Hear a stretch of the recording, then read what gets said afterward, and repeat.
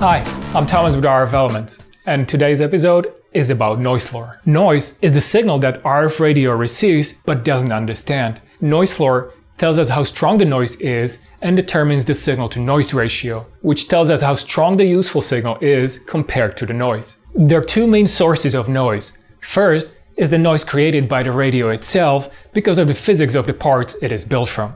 There are many types of noise devices produced, such as thermal noise, flicker noise, shot noise, or burst noise. Sum of all these types of noise makes up the noise floor created by the radio itself.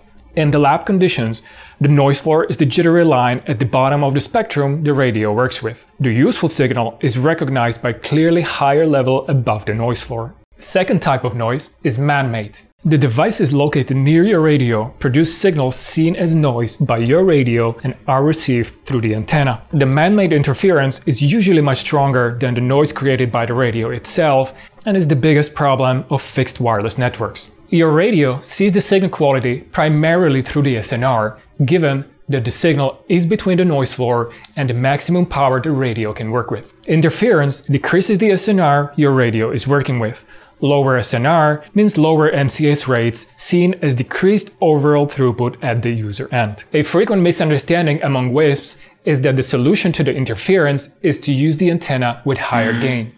Although higher gain antenna will increase the received signal strength, it can be harmful to the SNR because of the side lobes which decide how much added noise your radio sees.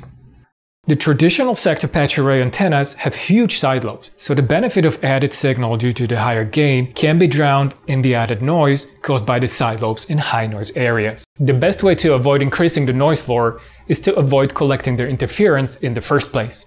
Using an antenna with small or no side lobes such as horn will push the noise floor down. Despite the horn might have smaller gain, the lack of side lobes improves the SNR, so eventually the link can perform better than with a higher gain antenna. If you want to know more about link planning, stay tuned for some of our following episodes.